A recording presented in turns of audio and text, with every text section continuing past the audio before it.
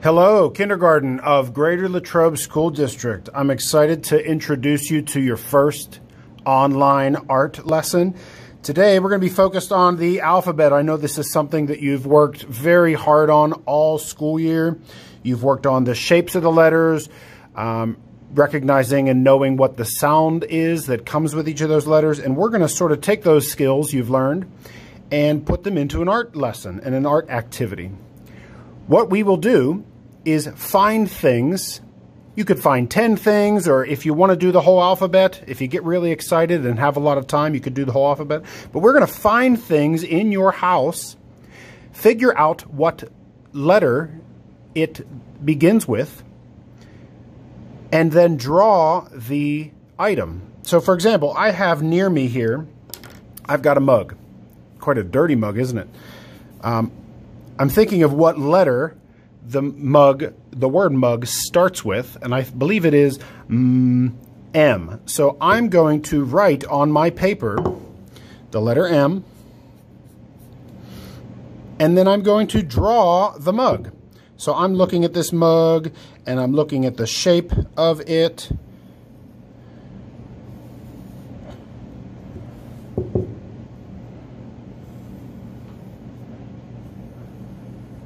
One of my favorite things about drawing, even artists as young as kindergarten, can always erase and edit if the lines they make don't quite match what they're seeing.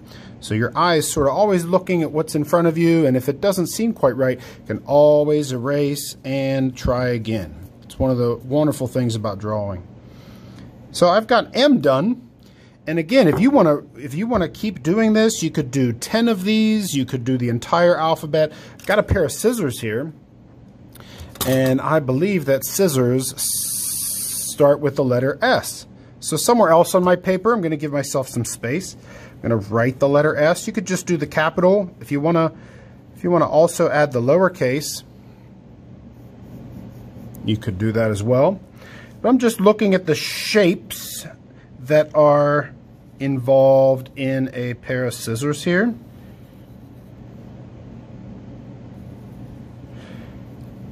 And drawing what I see, just letting my eyes sort of travel around the shapes.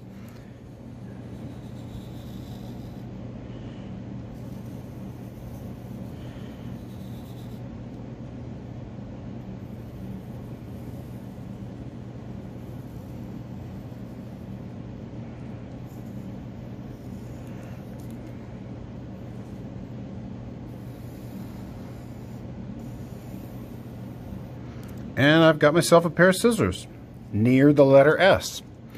Let me do two more with you, kindergarten. I hope you're liking the idea of finding things in your house, figuring out which letter matches that item. I've got my keys here, so I'm just going to look at this key right down here.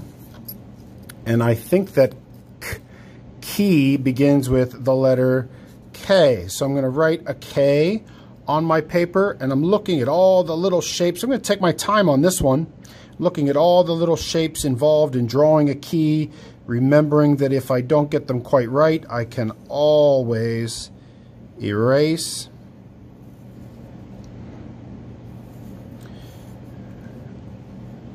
Looks like my key's going to run into my pair of scissors here. Maybe I can uh, fix that make it look like it's going behind.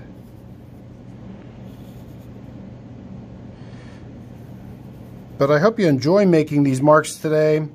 When I was in kindergarten, I loved to try drawing different things. And I hope you enjoy it as well.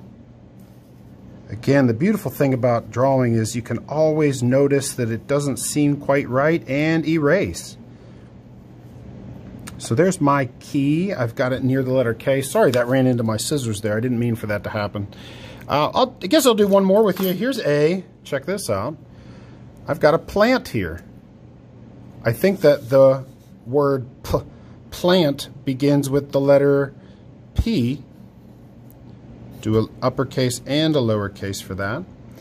And my plant is sort of shaped like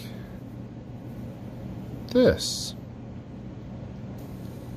Just letting my eye travel around, trying to draw a plant, which starts with the letter P.